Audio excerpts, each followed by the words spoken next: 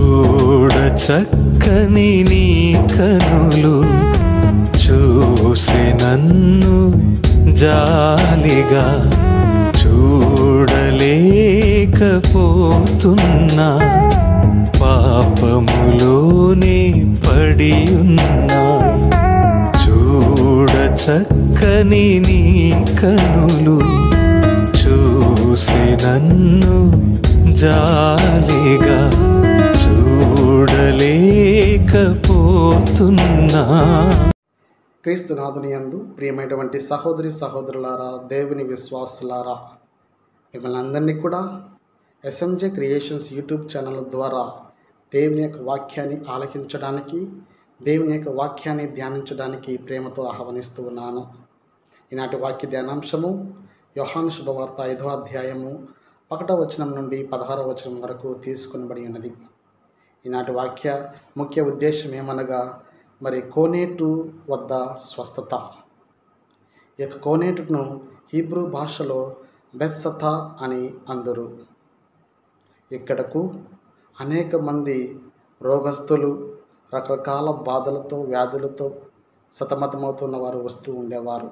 ముఖ్యంగా గుడ్డివారు కుంటివారు మరి అనారోగ్యంతో బాధపడుతున్నవారు ఇలా రకరకాలుగా పక్షవాత రోగులు వస్తూ దాని యొక్క నీటిని తాకినప్పుడు ఆ యొక్క కదలికను వారు ఎప్పుడైతే గమనించి దానిలోనికి దూకుతారో వారు మరి అద్భుతమైనటువంటి రీతిలో స్వస్థతను పొందేవారు. మరి దేవదూత అక్కడికి వచ్చి ఆ యొక్క నీటిని కదిపి వెళుతూ ఉండగా దాన్ని గమనించిన వారు మాత్రమే దానిలోకి దూకి ఆ యొక్క నీటిని తాకి స్వస్థతను చేకూర్చుకునే వాళ్ళు అలాంటి సమయంలో మరి రోగపీడితుడొకడు సుదీర్ఘ ముప్పై ఎనిమిది సంవత్సరాల పాటుగా ఎదురు చూస్తూ దేవుని యొక్క స్వస్థతను ఆయన పొందుకోవడానికి ఆశపడుతూ ఉండగా మరి అనేక మంది తనను పక్కకు తోసివేసి ఎంతోమంది వారు స్వస్థత పొందుకుని ఉన్నారు. కానీ ఈ యొక్క రోగపీడితుడు మరి ఎన్నో ఏళ్ళుగా బాధపడుతూ ఎన్నో సంవత్సరాలు మరి ఎదురు చూస్తూ ఉన్నట ఉన్నటువంటి తరుణంలో మరి ఒకరోజు క్రీస్తు అటువైపు ప్రయాణం చేస్తూ ఉండగా అతను ఎప్పుడైతే గమనించి తనకున్నటువంటి ఆ యొక్క వ్యాధిని గ్రహించినటువంటి క్రీస్తు తన దగ్గరికి వచ్చి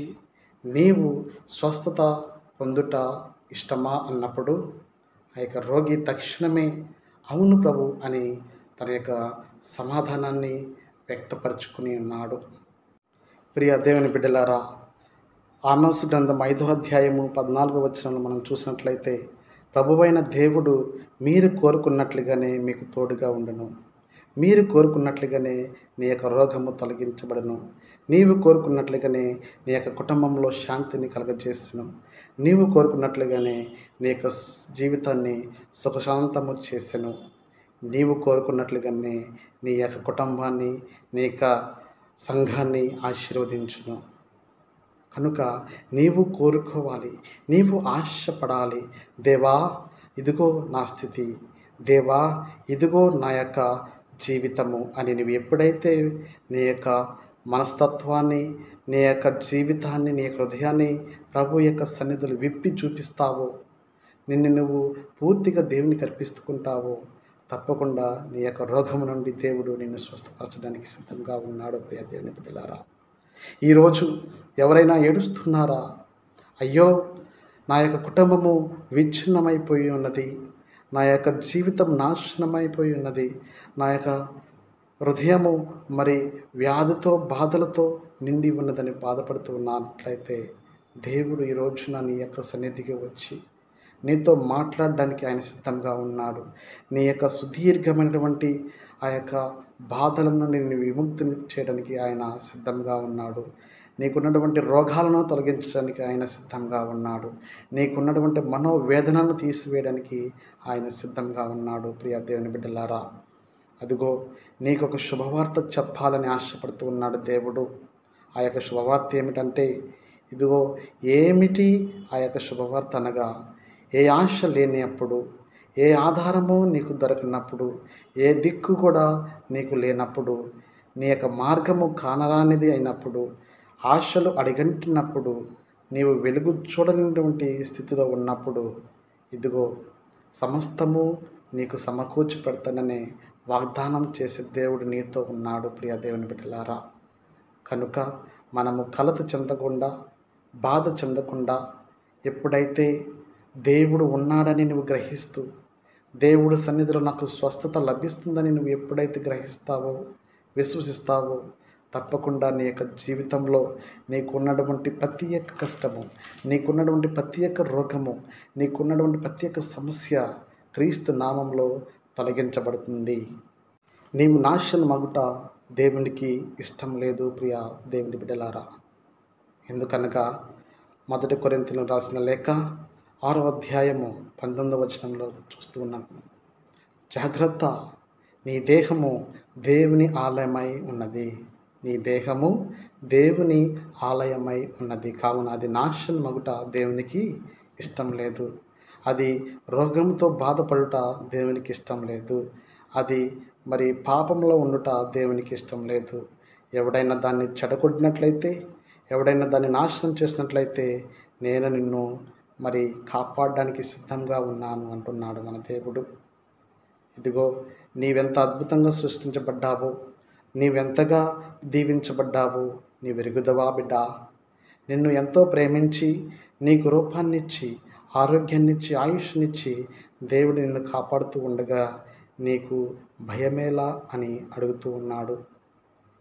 కనుక ఆ యొక్క రోగ పీడితుడి వలె మనము కూడా అనేకమైనటువంటి బాధలతో వ్యాధులతో రోగాలతో సతమతం ఉన్నట్లయితే ఓపికతో ఎదురు చూడాలి. ఎందుకనగా దేవుని యొక్క దీవెనలు దేవుని యొక్క ఆశీర్వాదాలు దేవుని యొక్క స్వస్థత మనకు మనము ఊహించిన దానికంటే దేవుడు ఏర్పరిచినటువంటి సమయాన్ని బట్టి మనకు దొరుకుతూ ఉన్నది లభిస్తూ ఉన్నది. ప్రియా దేవుని బిడ్డలారా కనుక ఎంతోమందికి ఈ రోజున మరి ఆశ నిగ్రహము లేక ఉన్నది. ఎంతోమంది నిరుత్సాహంతో ఉన్నారు. ఎంతోమంది రోగపీడితులై ఉన్నారు. అలాంటి వాళ్ళందరికీ ఈ రోజున దేవుడు అభయం ఇస్తూ ఉన్నాడు ధైర్యం ఇస్తూ ఉన్నాడు. నా బిడ్డ ఇదిగో ఓపికతో ఉండము. నీ యొక్క స్వస్థతను చేకూర్చే దేవుడను నేను. నీకు ఆరోగ్యాన్ని ఆయుష్నిచ్చే దేవుడను నేను. నిన్ను దీవించి నీ యొక్క కుటుంబాన్ని ఆశీర్వదించే దేవుడను నేను.